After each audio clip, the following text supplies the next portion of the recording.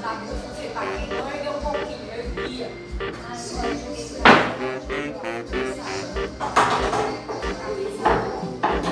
Isso aí, pessoal. Olha que efeito lindo.